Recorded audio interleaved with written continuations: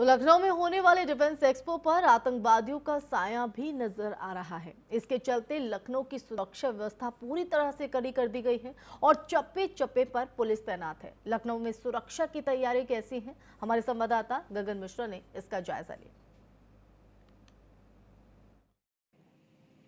पाँच फरवरी से नौ फरवरी तक लखनऊ में डिफेंस एक्सपो का आयोजन हो रहा है।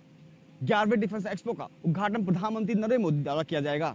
इसी के चलते लखनऊ में साथ ही साथ पूरे उत्तर प्रदेश में सुरक्षा एजेंसियाँ सतर्क हो चुकी हैं, क्योंकि जो इनपुट मिला है, वो काफ़ी चौंकाने वाला है। सुरक्षा एजेंसियों को इनपुट मिला है कि करीब 11 आतंकी संगठन के सदस्य नेपाल के रास्ते भारत में, खासकर उत्तर प्रदेश में एंट्री कर सकते हैं, जिसमें सबसे महत्वपूर्ण नेपाल इस्लामिक संघ, लश्कर तोबा और जैसे मोहम्मद है। इसी के चलते सुरक्षा एजेंसियाँ इन सभी 11 आतंकी एजेंसियों पर अपनी नज़र पैनी गड़ाए हुए है।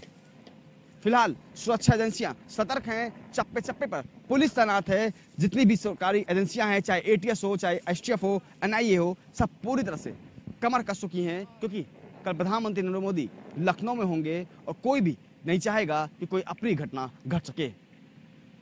कैमरा पर्सन अमित मिश्रा के साथ Gagan Mishra R nine TV Uttar Pradesh.